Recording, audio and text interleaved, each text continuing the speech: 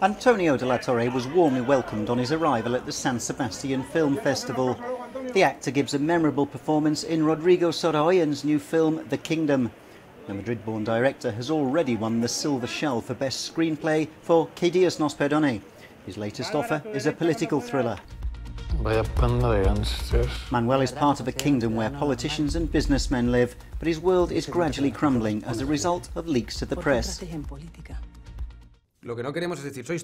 What we don't want to say is you're all guilty in the sense of we want to save someone. No, we want to show a world in which it's very difficult not to be corrupt, but at the same time, we want for the spectator to see that they're not so different from us.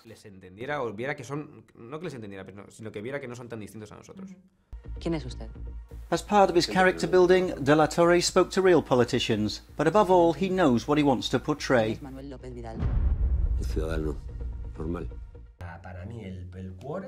For me, the core of the task is to capture the soul, as, as if it were a game. As an actor, you have three possibilities the walking, the talking, or the soul. I'll keep the soul. Our correspondent says if Rodrigo Sorogoyen's previous film was a dirty thriller, this one is much more sophisticated, but it serves to portray the filth of the political class. This is the first major Spanish production in this Zinemaldia, and during its screening, the Donostia Prize was also awarded to the Japanese filmmaker Hirokazu Koreeda.